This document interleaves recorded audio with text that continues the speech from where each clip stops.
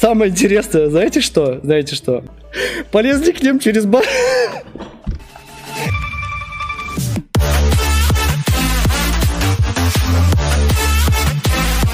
Не, у меня была, короче, одна забавная история, когда я хоккеем занимался еще. Когда... Короче, ладно, сейчас расскажу, готовьтесь. Мне было тогда сколько? Лет, наверное, что-то 14, что-то такое.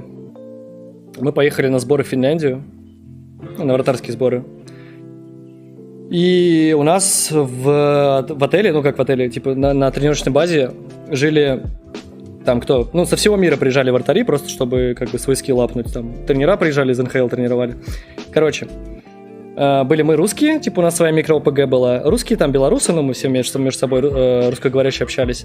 Там были шведы, были финны, американцы, канадцы и, короче, то ли китайцы, по-моему, то ли какие-то мы так и не поняли. Ну, короче, ну, азиаты. Вот наш номер, да, был, и вот у них был соседний. И там ночью, короче, можно было перелезть к ним через балкон, они никогда не закрывали окно.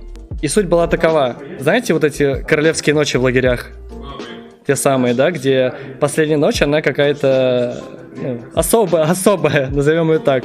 Где мажут, типа, пасать друг друга, еще что-то. В общем, вот.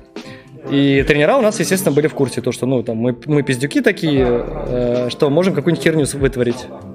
Так вот, они перед, перед тем, как э, был отбой, во сколько там, в 9-10 вечера, э, подошли к нам и сказали, что, ну, давайте без всякой херни, потому что все-таки это такие международные сборы, и надо, типа, себя с нормальной стороны показать.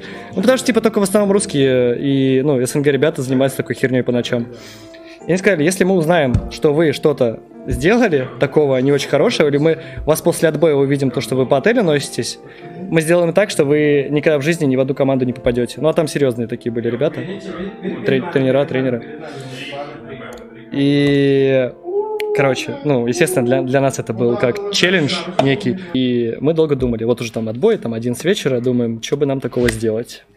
Надо такого сделать, думаем, думаем, думаем, паста уже не канает, слишком э, слишком мейнстримно, бла-бла-бла, все такое. И тут у нас чел, короче, я, ну, не буду сейчас не называть никаких имен, ничего, просто прикольный чел. Он, по-моему, то ли с Украины был, то ли откуда-то. Говорит, ребят, я придумал. И он, короче, берет пакет из пятерочки. Ну, представь, да, пакет, ну, типа из магазина обычный, целлофановый, большой такой. И куда-то отходит. Куда-то отходит, короче, мы такие думаем, что же сейчас будет интересно. Ну, что-то за минут, наверное, 15-20 что-то прошло, ничего, ну, он не вернулся, естественно. А, мы уже занимаемся своими делами, валяемся там в телефонах, чили, чилим, смотрим телек. И тут просто он заходит и тихонечко ставит пакет просто рядом, ну, вот в угол куда-то ставит. И ничего не говорит, тишина. Дальше. Проходит минут 10, мы просто все смотрим друг на друга и не понимаем, откуда Откуда в комнате лютый просто неимоверный запах говна стоит? Боже, я это вспоминаю. Короче, этот чел насрал в пакет и поставил его рядом просто в комнату. Самое интересное, знаете что? Знаете что? Мы потом полезли к ним через балкон, они спали все как убитые, короче, и он этих, этим пакетом начал их пиздить просто. Просыпайтесь, просыпайтесь, там один чел, короче, не проснулся, от, ну, он так, типа, не сильно, просто кипиш поднимал небольшой. Один чел настолько вымотался, он, ну, не проснулся, потому что у нас тренировки жесткие были. Суть в том, что он ему кинул этот пакет под подушку, и на утро мы просыпаемся от того, что дикий просто ор, крик. Ну и, соответственно, прибегают тренера, разбираются, что происходит вообще, что как. И мы такие заходим, смотрим, у чела просто вся подушка, вся просто, весь матрас, вся кровать, просто вся стена в говне.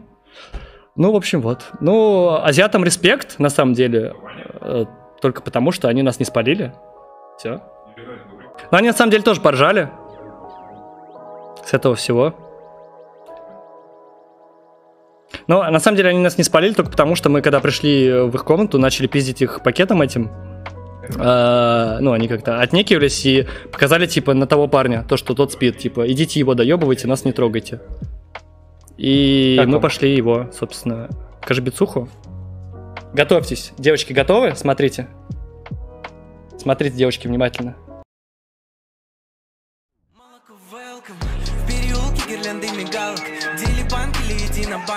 Лодка ставка, пачки мало бара Мимо